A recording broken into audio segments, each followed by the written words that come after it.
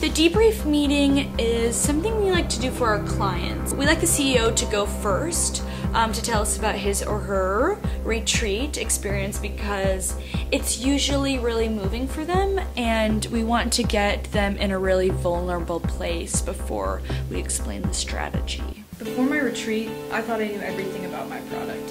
What it likes, what it doesn't like, ins, outs, what it would like to read hypothetically, and after my retreat, I realized how much jealousy and hate I was really carrying in our relationship. I wanted it to just be, you know, me and it just going through the world, figuring it out together. I mean, you have to understand, me and this product have been together through some of the darkest times in my life. Looking at my product right in the eye for four full minutes really allowed me to understand how much jealousy and hate I was holding in our relationship. Honestly, me and my product had a lot of fun on our retreat. Before my retreat, I really thought I was ready to share my product with the world, but now I know that I actually am. Inspiration inspires me more than anything in the world. And JP's story is incredibly powerful and his brand is incredibly story for those who aren't necessarily creative or um, don't really get creativity, we like to just um, break things down, basically break our strategy down for them. In our first meeting, we all agreed that it would be most appropriate and exciting to have an influencer campaign for this particular brand. Before we could really begin on the influencer campaign though, we had to first come up with the message of the brand. And we really find that people just like being told what to do. It's really that simple. Like, just do it. Just do this thing or whatever. And they're like, okay. We approached Dak Lambert, American Ninja Warrior champion and um, absolute sweetheart to represent this brand.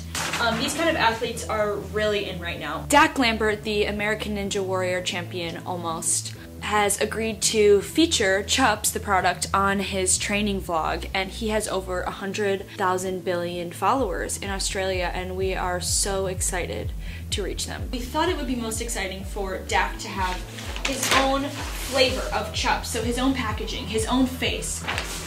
We thought his flavor could be Kung Pao. This is really in right now. Uh, people love to know how to pronounce things that they already know how to pronounce. And so we need to talk about the most important thing in the world. We want this product, this ketchup product, to be special for people. We want it to be an exciting part of every meal, um, an exciting part of every burger. What more special than a Buffalo Wild Wings? So like where you have the ketchup and the mustard on the side, just get rid of that and there'll be um, slats of chupz. Because there are ketchup bottles out there all over the world that are taking up space where chupz should be. It, it, this is a zero-sum game. There, it's either ketchup or it's chupz, and we need to get rid of ketchup because you this is the future. This is the solution to the problem. Finally, for our placement strategy, we are going to have um, special displays in every grocery store um, of Chupz. And um, in the display, there will actually be the vlog. Um, we'll get like a screen in there or whatever. And of course, feature um, boxes of Chup singles. And we want people to see the display and think, that's my Buffalo Wild Wings thing. That's my thing.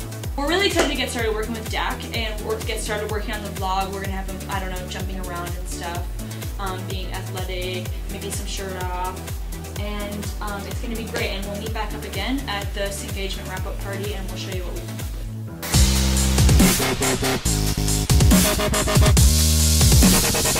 with.